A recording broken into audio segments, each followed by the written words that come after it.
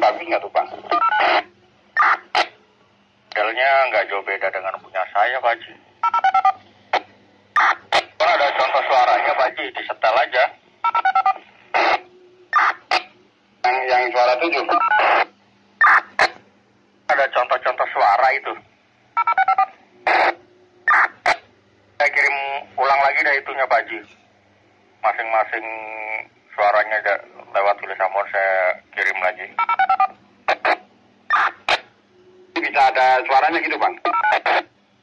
Ya, jadi Contoh suaranya nanti saya kirim. cara untuk memanggil Eh, seseorang di radio ya kita harus menunggu dulu masuk. frekuensinya kosong ya baru setelah Saya itu kan juga belum sempet ngambil Bang. baru kita panggil orangnya yang akan kita tuju nanti Oh, yang yang yang akan tujuh berapa tuh Bang? Saya coba untuk memanggil di Mengkontak itu. orang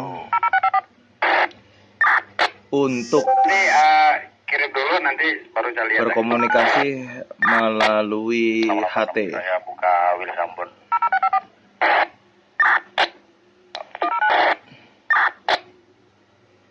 Jalur.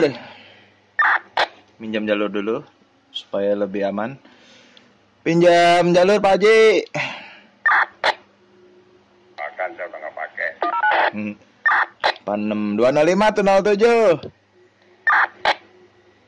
07. Kita panggil call center dia. Ya, baru kita setelah dia balas kita balas.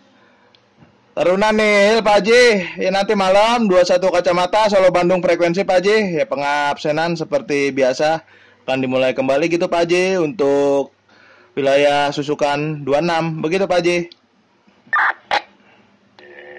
Ya lanjut. Eh, laksanakan dengan sebaik mungkin gitu. Sorry ya Pak Haji.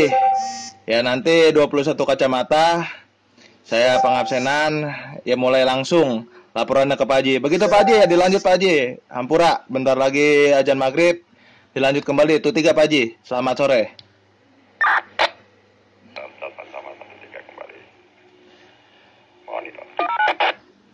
Ya seperti itu cara untuk memanggil seseorang menggunakan HT di frekuensi yang menggunakan RPU. Jadi kita harus menunggu dulu. Setelah frekuensi kosong, ya ada baiknya setelah orang berbicara kita pinjam jalur frekuensinya supaya tidak mengganggu.